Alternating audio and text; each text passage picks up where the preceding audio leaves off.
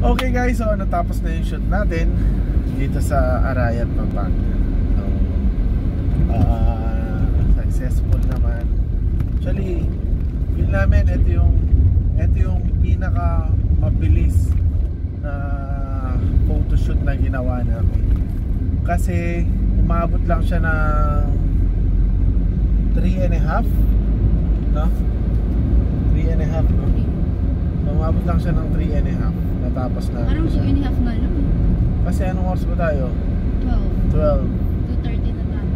ah mga 2 and a half lang guys so record yun sa atin ha Ah, ibig sabihin nag improve na yung yung pag-shoot natin ng baby kasi napapatahan natin siya and ang pinakamalupit nun guys naiwan natin yung mga pang wrap natin ng baby so isa lang ang nadala buti na pagdala ko ng isa so ayun yung naging challenge natin kanina habang binababa ko yung ano gamit. Sabi ko oh my god. Sabi na naiiwan ko yung pang ano pang balot ng baby yung mga swaddle. Ano ba yan? Sabi ko pero ayun naman syempre kailangan ano naisip ko lang yun na walang wala ako swaddle pero lahat ng props dala ko. Okay so meron ako mga costume ng baby na pwedeng gamitin. So kaya ayun na survive namin. Yung unang concept namin is yung ah, walang damit si baby syempre. Sa tapos plain plain blue yung background niya. Tapos meron lang siyang parang kumot. White blanket. white blanket. Tapos ang second concept natin yung ah, yung moon natin pero hindi tayo nag plain hindi plain ano ginamit natin. Na tela gumamit tayo ng fur. Yung bagong biling fur natin so yun yung ginamit natin. Ah, tapos para maiba lang para hindi lang siya matulad dun sa sinot natin dati na moon din. Okay? So kaya binago natin. Tapos ang next natin na ginawa ano yung next natin? Yung ano, military. Bed. Ah, tapos yung military na nasa bed frame. Okay. So yun yung last na team na ginawa natin. Pero dun sa moon, madami tayong ano doon, madaming posing. Ah, alam ko dalawang posing ang ginawa natin doon. So, syempre meron tayong ano pa rin, ah, chin pose. Tapos ganun din dun sa military na uniform, naka chin pose din siya.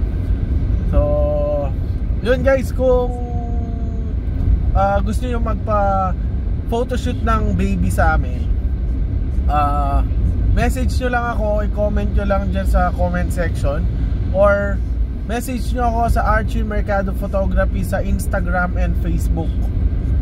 Okay, may promo tayo this February. Okay, uh, instead of paying 5,000, 4,000 na lang siya. Tapos, uh, mag-add lang kayo ng 1,000 if gusto nyo ng home service. Okay, so yun guys. Tapos 3 layouts na yon. Tapos meron siyang kasamang portrait, family portrait. Okay. So, doon na nagtatapos. Ngayon, ano muna tayo? Gala-gala muna tayo dito. Dapat pupunta ako ng ano, Arayat, Magalang Road. Eh, napadire-diretso kami, napunta kami ng papuntang Kabyaw. Layo, di ba? So, ngayon bumalik kami. Uh, gusto ko sana puntahan yung Gintong Pakpak dito sa ah, Arayat. Okay. So, hindi pa dito nagtatapos guys ha. Pupunta tayong Gintong Pakpak. Ah, check lang natin. Pero baka hindi na tayo magstay na matagal kasi anong oras na din 3:30. Pero iisip ko pa eh. Okay, well see, tingnan natin kung saan tayo makakarating. Alright, see you later.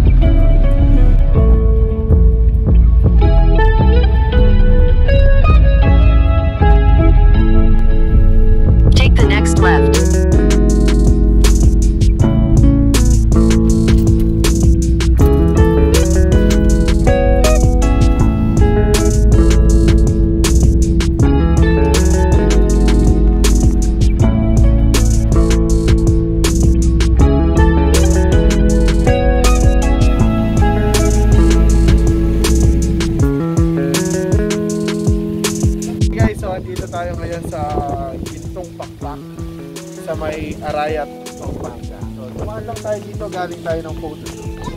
So, para medyo naka-relax yung lugar. Tayo naman yung opportunity. Natala dito na tayo sa may Arayat. So, pasyal na tayo dito. Ikot lang tayo. Sa prenup.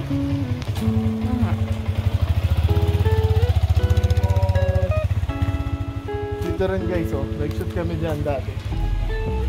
Kami nag-shoot yung prenup. Kung saan tayo nag-shoot ng newborn ngayon. So, dito rin namin sila sinut ng prenup.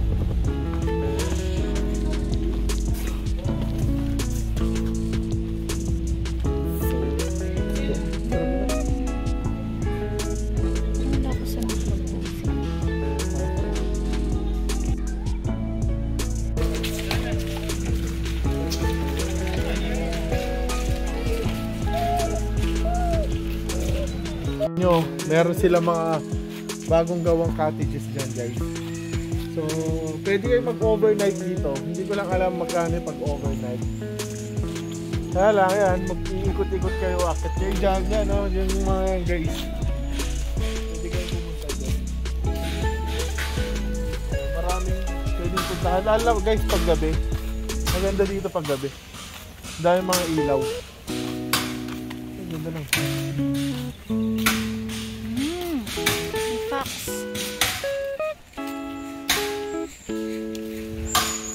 Dito pa tayo, marami pang pupuntahan dito sa sa pwesto dito. Ganda ng camera. Pero may swimming pool sila dito, check. So guys, swimming pool na sila. Dati kasi wala ito.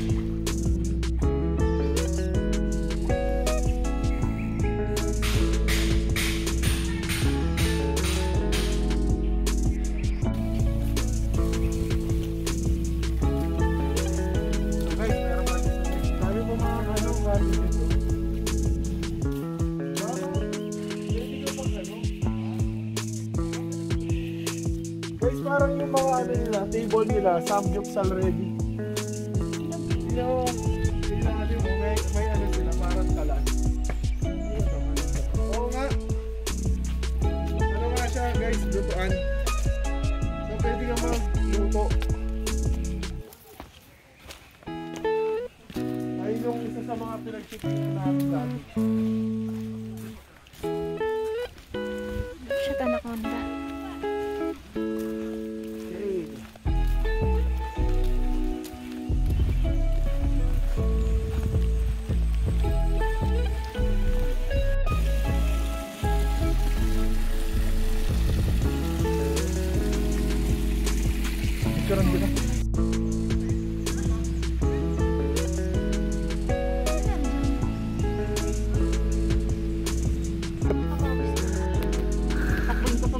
O sige. Sige nga. Akitin niyo daw guys ha. Let's go. Ay, palubat na ako. Tignan natin kung kaya niya. Overlooking. Okay guys. So wala. Sumuko. Kaya. Sumuko siya guys. Di niya kaya yun oh. Natatakot siya. Natatakot.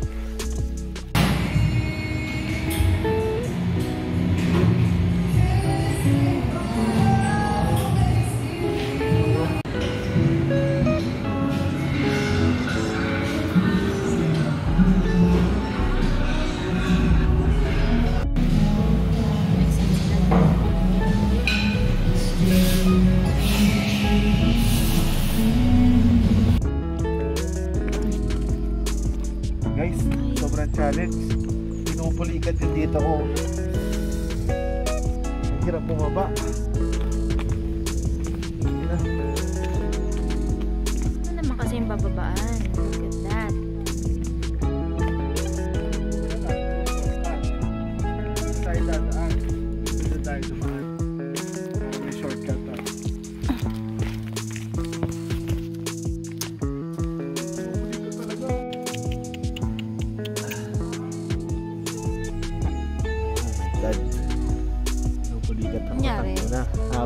Ng What lalakarin. happened to you? Haba pa ng lalakarin natin. Uh, Arte lang yan. Pinapupulitan talaga ako. So guys, ito na naman ako, pinupulikat yung ano ko. Quads ko parang nabigla ata sa Ewan ko ilang steps yun guys. Kanina nakita natin nasa 96 steps pa lang. Okay. So ang haba pa no. Siguro mga nasa 100 plus no yung steps o 150 steps tapos ang tarik niya buti na lang yung daan namin dito medyo pahaba siya so hindi kami bumaba sa isang diretsong sakit eh ay na parang nafe-feel ko na yung dalawang dalawang legs ko guys pinupulikat walking in na ah parang hindi. Hingin out, pinupulikat talaga ako. Oo. Camera rin. Ah. Woo. Oo nga, buti hindi nahahagdan dito eh. Padiret. Ngayon lang muna, pero banda doon may hagdan doon. Sa kabila. So, so hinihingal na ako ulit. Ah, paakyat talaga siya. May mas mahirap yung pababa din. Kasi persado yung napupersa yung ano, yung quads ko. Dahil nga pababa, so yung bigat ko sinasalo niya. And syempre, kaninang paakyat kasi nabigla. Ayan tagal nating walang workout, guys. Okay. Kaya ganito nangyari. Ito pababa na na naman to. Okay. So, alalay na lang muna. Naninigas yung ano ko eh. Yung quads. Okay. So guys, so siguro dito, sigurado na to mag-outro na talaga ako dito kasi at least nakakit na tayo doon. Okay, totoo na to, outro na talaga to. Ah. So guys, kung bago lang kayo dito sa channel ko, just don't forget to click the like and share button and also the subscribe button and click the notification button para lagi kayong updated sa mga video na i-upload ko. Okay? So, nga pala, kasama ko si Ivy, ano. Then, dito kami sa Gintong Pakpak. Dito sa Arayat, Pampanga. So, after ng photoshoot, pumunta na kami dito. Alright? So, dyan na nagtatapos yung video natin. Masyado na mahaba. Okay. So, yung mga output ng photoshoot, abangan nyo sa aking Instagram, Archie Mercado Photography. Okay, ipopost natin doon sa Instagram and sa Facebook. Alright! Bye-bye guys!